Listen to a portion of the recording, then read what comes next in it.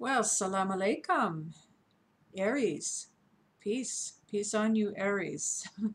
this is uh, Dawn Priolette, and this is your monthly Love Tarot consultation. So, this is going to be for the time period of November 18th through December 18th. So, this will take you pretty close up to Christmas time. And I want to remind you, um, first of all, this is a general reading. And if you do have some really pressing questions about your relationship, please go down into the description box. Um, and there is a link to a page on my website where you can purchase a personal reading with me. And I'm running a special. I have a two question reading um, for just $22, you can actually have a reading um, with two of your most pressing questions, and I will give you detailed answers. Um, and I will actually make you a video and send it right to your email. Okay? So please don't hesitate. Um, you know, it can really give you some peace of mind. So without further ado, I'm going to begin your reading.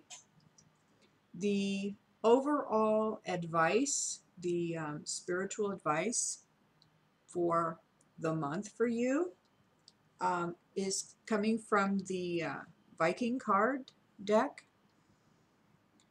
And so I'm going to give you that one first. And for this month, it is, let's see, what number is this? Card 11, the totem poles, which is spiritual guidance.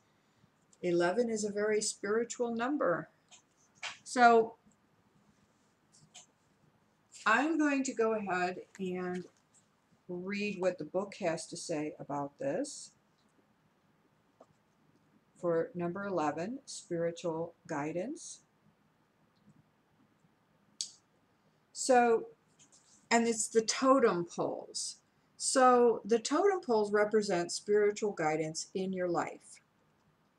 They are telling you to rely on guidance and support from your highest power in life. Fearlessly cast your totem poles overboard and trust that they will drift ashore at the right in at the right location. Show courage and patience and trust that the spiritual guidance and support you receive will lead you to where your life's work will be of the greatest service, both to you and to others around you. The Vikings sometimes had to search through more than one summer for their totem poles, but never lost faith, faith in spiritual guidance. Sometimes you need to stay in the same place for a while and rest before you continue your search. Resting can apply to you now, but before too long, you will find your own totem poles, which will lead you to new opportunities in life. Wow. So it's funny because, you know, as I was just telling you about getting your own personal reading, um, you know, this is basic, this card is basically advising you to take spiritual guidance, to get spiritual guidance, to be open to that. So I hope you'll heed that advice for this month, um, Aries. So let's get on with the rest of the reading. I have chosen uh, some cards from the Rider Waite deck, and this is for a relationship reading. So the first card up, actually two cards kind of fell out of the deck, and these are what they were. So Wheel of Fortune, normally in its upright position, this is the forward movement of life, the forward, forward movement to your destiny, to your purpose. But it came up in the reverse. And the card that came with this was um, this is, you know, I sometimes refer to this as the lying, cheating card. Or, you know, maybe some, and also, look, he's kind of sneaking away so like somebody sneaking around behind your back and and it also came up in the reverse. So what I what I was getting intuitively from this combination of cards is that there for you Aries there may have been a situation in your past where someone lied to you, cheated on you, really really betrayed you deeply. And it is really holding you up. And they're saying not just in your romantic life, but also in life in general, in your career path. Uh, this is really, really getting in your way. It's blocking you from experiencing abundance in all areas of your life because you don't trust anymore. And, and bottom line is you don't trust yourself to make the right uh, decisions and so this is uh, this is your work, Aries, uh, for for this time period. Really, is working on this past betrayal, this past lying, cheating, whatever it was, because it's affecting your life now. And in this position, this is what you're bringing into the relationship, whatever relationship you're in right now. Um, the next card up is temperance, this is what your partner is bringing to the relationship. And this is a person who appears to be much more balanced. Um, their feet are, you know, if you look in the picture, the feet are right by the water. Water is emotions. So this is a person who appears to be very balanced. And this is the lesson for you too. Um, sometimes this, this card refers to the lesson that you need to learn in this relationship. It's about emotional balance.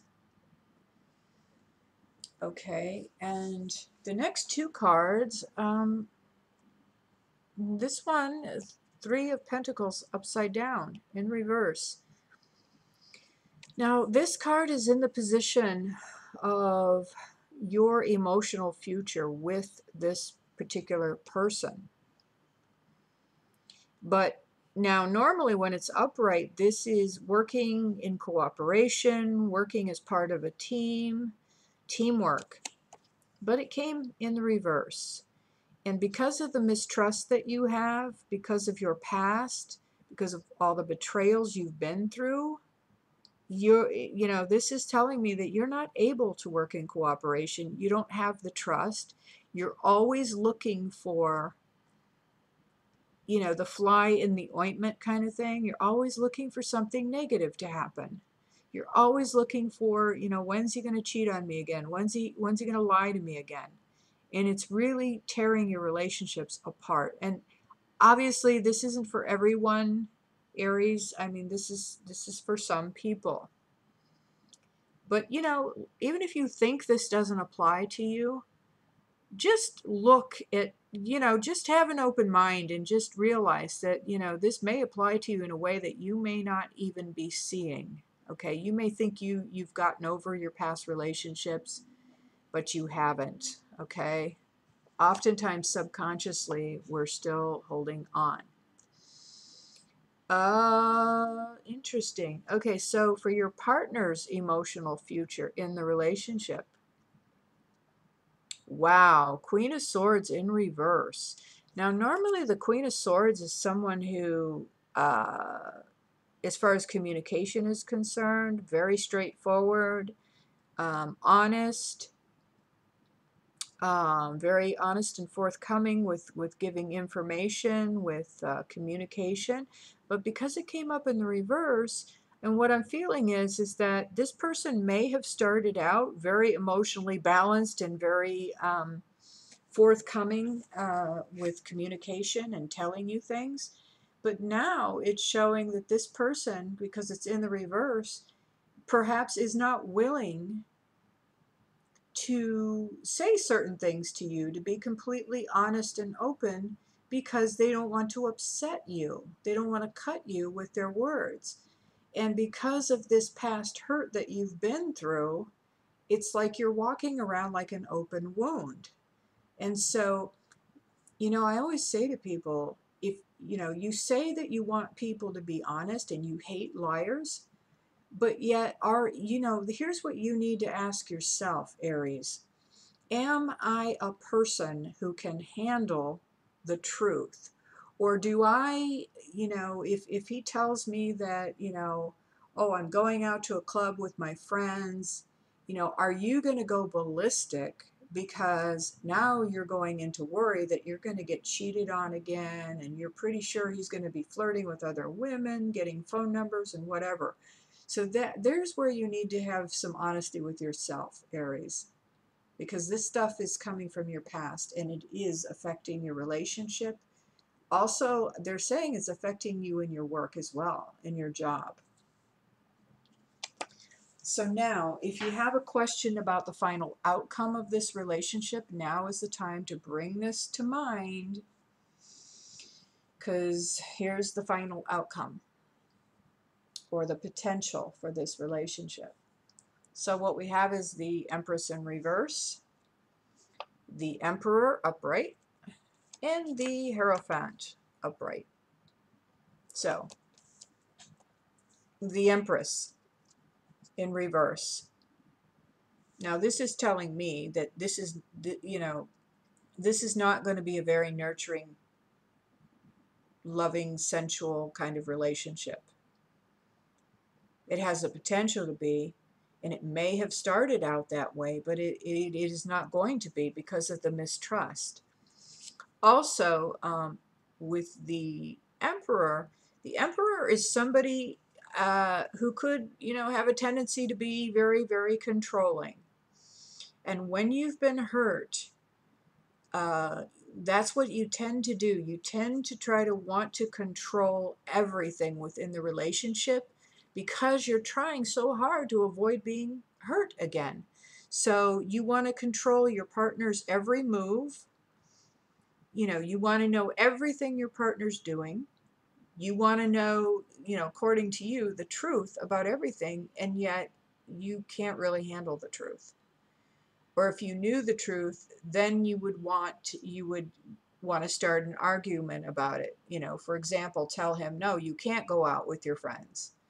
You know, in other words, you want to make him a prisoner because you've been hurt in the past, you've been cheated on before, and you're so terrified that this is going to happen again and now you want to control every aspect of his life. That's the emperor okay? So this is one scenario that this could be.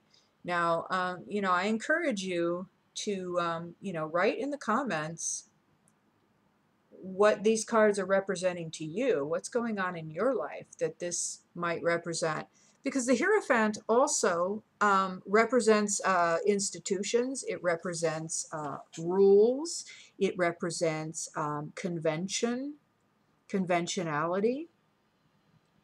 And sometimes when people are afraid of things, they tend to want to like do everything by the book, by Hoyle.